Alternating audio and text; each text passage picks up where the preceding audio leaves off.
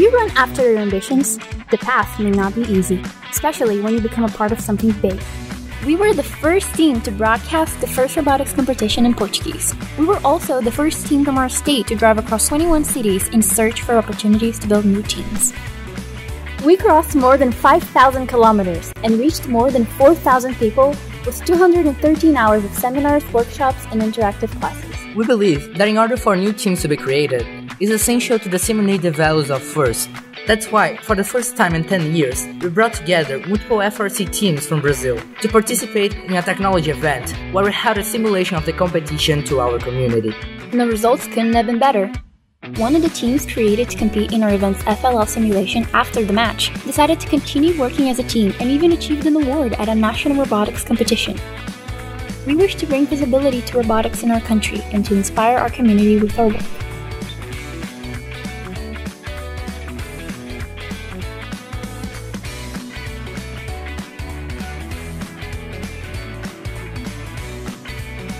With that in mind, in 2016, we won the Inspiration Award for mentoring new teams. After becoming the first Brazilian team to win the Rookie All-Star Award, we took it upon ourselves to help other teams accomplish the same.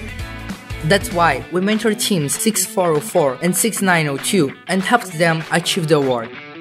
We, we want, want more. We, we want to be more.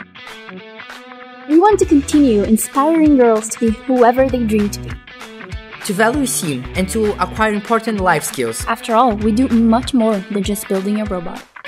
If you can write a code, you can build a website to inspire your community. If you can write documents and reports, you can simplify words so that everyone can understand robotics. We ran to be the first. This was our path to it. And even after achieving every goal, we created new ones and we haven't stopped running. Because one day we were the first. Now we are first.